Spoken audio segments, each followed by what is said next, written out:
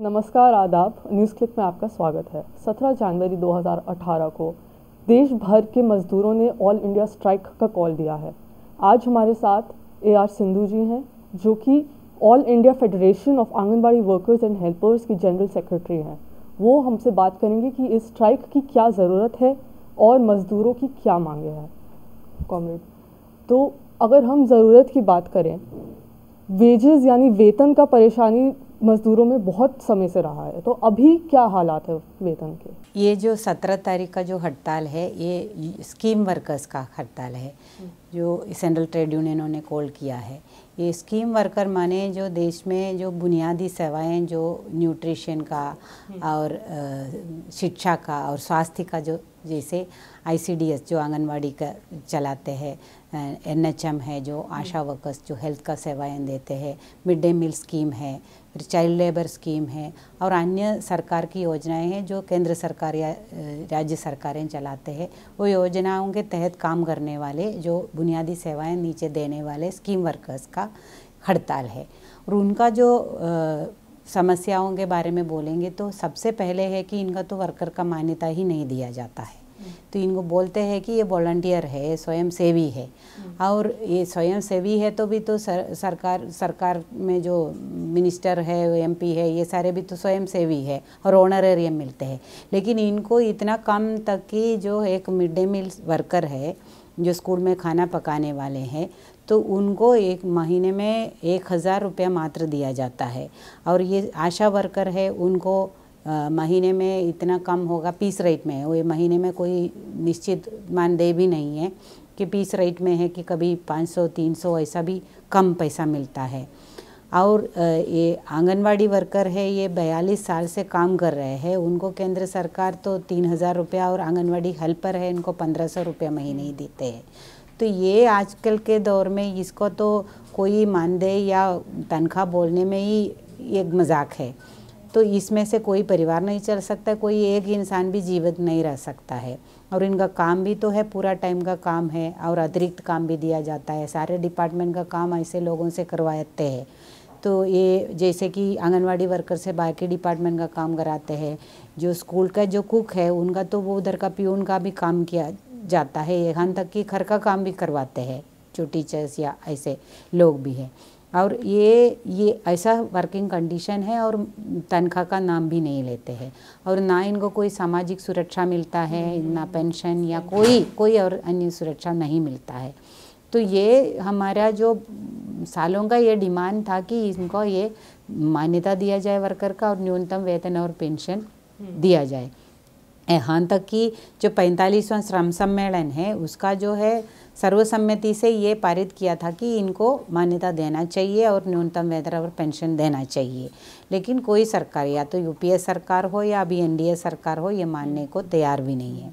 और बजट में जो कटाव हुए हैं, स्कीम्स में उससे भी इस पर काफ़ी फ़र्क पड़ा होगा। तो उसका क्या हाल रहा है? ये तो एकदम सही कहा है कि इसमें जो पर्टिकुलरली जो अभी जो मोदी सरकार आया है, मोदी सरकार ने ये जो सरकार केंद्र का ये बुनियादी सेवाएँ जो देते हैं, उस पर जो खर्च है वो पूरा कम करने के लिए, वो सब इसको सब्सिडी का नाम देते हैं और सब्सिडी कम करने के नाम पे ये योजनाओं का ही बंद करने का ये साजिश बोल सकते हैं कि ये किया जा रहा है। और ये नीति आयोग ने भी ये प्रपोजल दिया है कि इसको जो बहुत सारे योजनाओं को बंद करना चाहिए। और इसके तहत उन्होंने जो सबसे पहले बजट में ही बहुत भारी कटौती किया है ये जो मुख्य योजनाएँ हैं इसमें से तीन मुख्य योजनाएँ हैं कि एक आईसीडीएस जो है छः साल तक के बच्चों को न्यूट्रिशन और प्री स्कूल का सर्विस देते हैं। और माओं को गर्भवती को और दूध पिलाने वाले माओं को भी न्यूट्रिशन देते हैं। और मिड डे मील का स्कीम है जो देश के 11 करोड़ बच्चों को खाना देते हैं। और एनएचएम के तहत में जो स्वास्थ्य का सेवाएँ देते हैं इंक्लूडिंग मैटर्निटी बेनिफिट तो ये जो सेवाओं के लिए जो बजट में एलोकेशन था उसमें जो एक तिहाई तक तो कटौती किया। इससे बहुत भारी असर हुआ है। एक तो इतना कम जो तनख्वाह मिल रहे थे, ये जिसको मानदेय कहा जाता है, वो भी छः सात महीने तक नहीं मिलते हैं बहुत सारे जगह में। और इसमें जो सेवाएँ देते हैं, खाने के लिए पैसा नहीं है तो खाना नहीं आता है। और सबसे ज़्यादा कुपोषण जहाँ है, ऐसे राज्यों में, जैसे छत्तीसगढ़ हो या झारखंड हो या यूपी मध्य प्रदेश, ऐसे जगह में तो तीन तीन छः छः महीने तक खाना भी नहीं देते हैं, ऐसा भी स्थिति हुआ है। ये बजट कट से। तो और ये भी नहीं है कि ये बजट नहीं है और सेवाएँ नहीं है इसका, बोल के इसका न्याय देते हुए इसमें प्राइवेट पार्टीज़ को इन्वॉल्व करने का भी प्रयास किया जा रहा है। निजीकरण और एनजीओ से भी बहुत हम देख रहे फ़र्क पड़ रहा है क्योंकि ये जो सेंट्रल स्कीम्स है, इससे सरकार अपना जो मतलब बेसिक उनकी ड्यूटी है, वो निभाती है लोगों की तरफ़। पर अब जब ये एन इतने आ जाते हैं और प्राइवेटाइजेशन इतना हो जाता है, फिर उससे सरकार का काम कैसा इफ़ेक्ट होगा? इसमें जो है, ये बेसिक सवाल यही है कि ये जो सरकार की ज़िम्मेदारी है और जो जनता का अपना हक है, जो शुड बी यूनिवर्सल राइट ये सारे जनता को जो मिनिमम सुविधा में मिलना चाहिए, खाने का, शिक्षा का और स्वास्थ्य का, वो और केयर ये ये सेवाएँ जो सबका जो अधिकार होना चाहिए वो अधिकार के जगह में ये कुछ चंद लोगों को जो पैसे वाले लोग अपना जो है दया पे जो लोगों को भीख देने वाला जैसा हो जाता है हम्म। तो ये बुनियादी यही है कि ये जो है ये जो अधिकार है और इसका ज़िम्मेदारी सरकार का है हम्म। ये वहाँ पे फिक्स होना चाहिए हम्म। और ये सरकार उसमें से बदल के अभी जो है ये बहुत बड़ा पैसा वाला कुछ कंपनियाँ हैं वो अपने पैसे से कुछ गरीब लोगों का मदद करने वाला चीज़ बनाया है। तो यही है इसका ही विरोध ट्रेड यूनियन करते हैं और इसको सारे सबको ये बुनियादी सेवाएँ उपलब्ध किया जाना चाहिए। और ये एन को ये भी नहीं ये एन अपना जेब से कोई पैसा खर्चा करके ये भी कर नहीं रहा है। ये उल्टा सरकार का पैसा अपने जेब में डाल के उनका सेवाएँ कम करते हैं आधे सेवाएँ नीचे तक पहुँचते नहीं है। और ये एन भी जो है ये छोटा मोटा एन नहीं है। ये बड़े कॉरपोरेट्स का अपना एन है। जैसे अक्षय पात्रा है नांदी फाउंडेशन है ऐसा है। और ये अपने सेवाएँ इनसे करवाते हैं। और ये भी नहीं है कि कुछ कॉरपोरेट कंपनियाँ हैं अपने काम भी लोगों से करवाते हैं। जैसे ये प्रोक्ट्रान गैम्बिल ने अपना जो है सैनिटरी नैपकिन बेचने का कमीशन एजेंट बनाया है आशा वर्कर्स को। हम्म। ऐसा भी काम किया जाता है। और वेदांता जैसा कंपनी भी कॉरपोरेट कंपनी है, जिस, जो सरकार को अपना टैक्स नहीं देते हैं, और वो सरकार से इसमें एग्रीमेंट करके हम लोग को कुछ पैसा देंगे, ऐसा दिखा के तो उसमें अपना गुड बुक में एंट्री भी लेते हैं और बाद में उनको टैक्स का भी छूट दिया जाता है। तो ये पूरा एक नेक्सस बना के रखा है ये एन का कॉरपोरेट कंपनीज़ को और ब्यूरोक्रेट्स और पॉलिटिशियंस का। तो यही चल रहा है और जहाँ आम जनता को कोई सेवा मिलते नहीं है ढंग से। तो इसमें हमारा ये मांग है कि ये सबसे पहले कि ये जो सेवाएँ हैं उसके लिए आवंटन पूरा होना चाहिए। जहाँ क्वालिटी सर्विस मिल जाए और सबको मिल जाए यूनिवर्सल सर्विस सबके लिए मिलना चाहिए और उसमें काम करने वाले को वर्कर का दर्जा दिया जाए मिनिमम वेज और पेंशन देना चाहिए और E S I P F समेत सारे सोशल सिक्योरिटी मिलना चाहिए। और उसके अलावा इसमें कोई तरह का निजीकरण मत चलना चाहिए। और वो भी नहीं, और लेटेस्ट ये है कि सरकार ये जो सेवाओं को बंद करके डायरेक्ट बेनिफिट ट्रांसफ़र का बात कर रहे हैं, पैसा देंगे।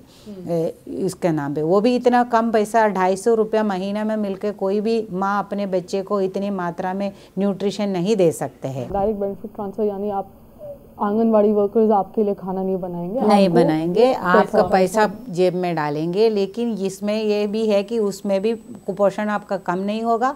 तो वो है कि आपका जो कारण क्या है कि इसको लगाने का कुपोषण कम करने का। कुपोषण कम नहीं हो रहा है तो ये भी बंद करो।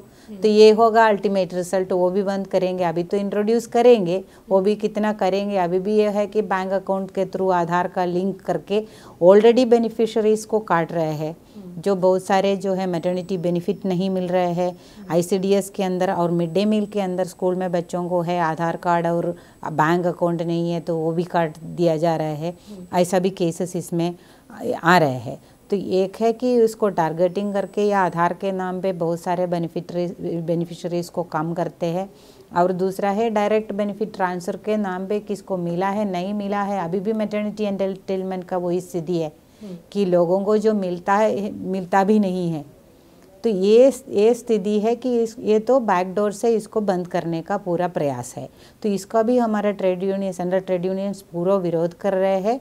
और ये ये सारे मांगों को लेके ये एक दिन का हड़ताल है। ये एक दिन का हड़ताल और है और हड़ताल के साथ साथ में वो पूरे देश में अपना प्रदर्शन भी करेंगे कि अपना ताकत दिखाने के लिए और सरकार को मेमोरेंडम देंगे। और ये जो बजट आने वाला बजट के अंदर में ये मांगों के लिए काफ़ी आवंटन अगर नहीं है तो सेंट्रल ट्रेड यूनियंस का कॉल है तो बाकी वर्कर भी उसमें विरोध प्रदर्शन करेंगे और आगे वाले दिनों में करेंगे। और और आंदोलन करेंगे। और उसके साथ में स्कीम वर्कर्स के लिए अलग सा भी ये अनिश्चितकालीन हड़ताल या फिर अनिश्चितकालीन पड़ाव जैसा यहाँ किया है तो ये दो दिन, तीन दिन का किया है तो अनिश्चितकालीन पड़ाव भी करने का भी सोच रहे हैं। वो जो बजट के बाद में सेंट्रल ट्रेड यूनियंस बैठ के तय करेंगे। उम्मीद तो यही रखते हैं कि आगे जाके सरकार अपना मज़दूरों के लिए और अच्छे से काम करेगी। तो धन्यवाद, कॉमरेड, हमारे साथ बात करने के लिए, न्यूज़ क्लिप में आने के लिए आपका शुक्रिया।